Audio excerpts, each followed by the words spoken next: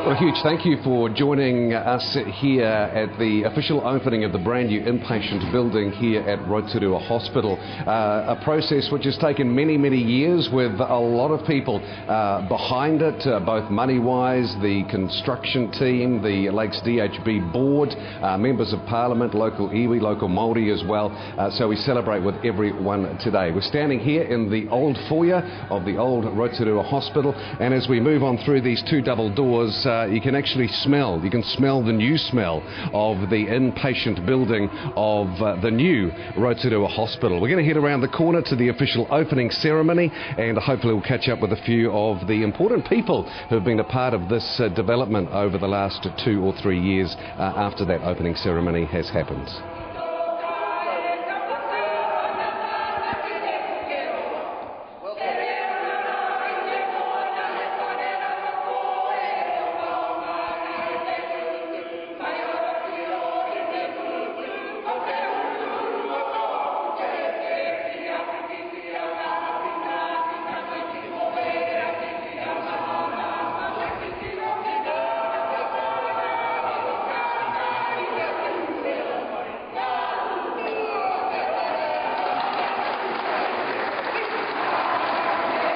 First stage of the inpatient building at Rotorua Hospital. Um, Mr. Ryall, just we are so proud.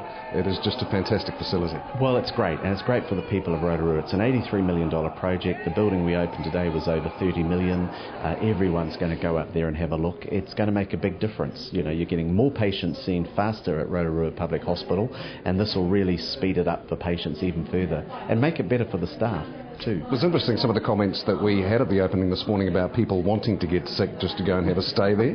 well, don't, don't, encourage that. Uh, we've got the winter rush on.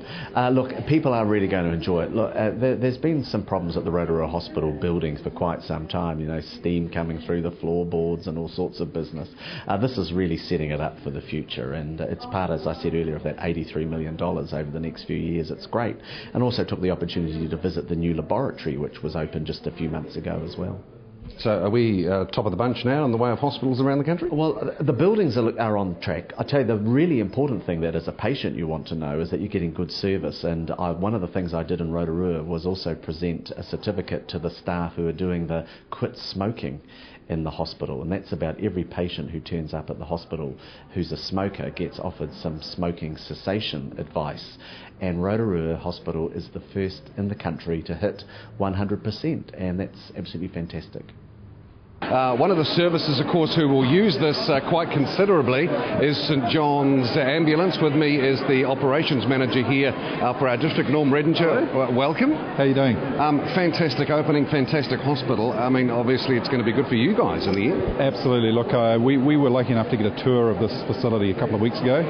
Um, so we were taken through um, all the medical wards up here, um, the ICU, the CCU and uh, I have to say it was outstanding. You know, we had members of the group saying, um, "How do you get to book a room in this place?" And we said, "Well, we can make some suggestions. You might not like them." But uh, look, as a facility, a medical facility, it's absolutely outstanding. Uh, one of the things we like as a service is they've um, they've created uh, a system that they call front of house and back of house. So what you see here is front of house. Mm-hmm. Um, for the ambulance service when we're dealing with patients who are sick or injured on stretchers, uh, we've got private corridors or corridors back of house where we can move patients in and out without running them through public areas. So that alone, uh, to me, is a, is a great step forward and you know, great for uh, privacy for the patients, uh, but a wonderful facility. And the other thing for me is uh, for the staff working here, it would, would, be like a shot in the arm. You know, it's just a beautiful. You know, the rooms are beautiful. The, the, the staff facilities, patient facilities, outstanding. Cheers. Really good. Thanks, Norman. Thanks for the work that you guys Thank do. you. Cheers. So with me now a, uh, a, wonderful lady who was very instrumental in getting this all underway. Our uh, Labour list MP in Rotorua, Stevie Chadwick. Hi. Hi. What a great day. Oh, it's a fantastic day, and I think the presence when you walk in here, you know you're on Pukeroa Hill. You didn't in the old hospital. That's significant, but also knowing the years of work with the clinical staff that's gone into this is very profound. Patients will know that when they come here, they get well planned services around them, and that's what's important. I mean, let's let's get personal with you though. I mean, a big day for you because uh, you know you started this. You, you you you put a lot of the legwork in. I just texted Helen Clark actually uh, because there were some great tensions as there always are in a building this size. Uh, and we had to advocate about the funding. If you're going to do it, you do it properly. And I was getting concerned that we were trimming too many edges off. Helen will be very excited for Rotorua today. She a, has a huge love for this place and uh, came here and announced the funding just before we lost the last election, you know. So pork barrel politics doesn't work. uh, but it is a wonderful legacy for um, Ngāti Pukekohe and Te Arawa and Tūpari and us, the people of Rotorua. It's fantastic. Certainly on behalf of everyone in Rotorua, a big thanks to you. Oh, thank you. That's very touching. With me now is uh, Sir Peter Tapsell, a well-known name, a well-known face around Rotorua. Sir Peter Tapsell, kia ora. Kia ora. So, your feeling, your spirit today as we open the new inpatient building here in Rotorua? Well, I think everyone will recognise that you know this is a magnificent building, and I'm particularly pleased and privileged to see the long-standing association of Ngāti Pukekohe with the hospital, and hopefully we'll build on that over the years to come. Because as was uh, mentioned in our opening ceremony uh, today, the importance and the, the meaning for Maori behind Pukeroa Hill. Yeah. And, and I think it's something that the health, those involved in health need to remember that it is not the building that will one day stand out in people's regard for the hospital, but whether the people who come in here are made to feel comfortable, well, that's the important thing of health. And in some ways, the health I, I, think is going off the rails a little bit. Not here, but generally. So here in Rotorua, you think we've uh, we're, we're, a bit top notch now around the country? Well, this this association is unique. Nothing like this in the rest of the country or in the world. And a magnificent building.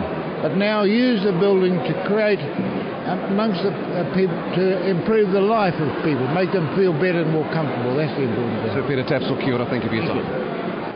So there you have it, Rotorua, the official opening today of the new inpatient building for Rotorua Hospital. Stage one of this uh, huge redevelopment in on time and I think I'm right in saying under budget. It is a beautiful place and so interesting to uh, learn some of the history behind uh, the old hospital and uh, behind uh, the uh, situation here on Pukeroa Hill from one of our local kaumatuas. But yeah, I hope we've given you a little bit of an insight to, to the new building building, brand spanking new. And uh, if you ever have to use this facility, uh, like a lot of people have been saying, book a room because I think it's going to be extremely popular. Uh, Steve Comber for TV Rotorua.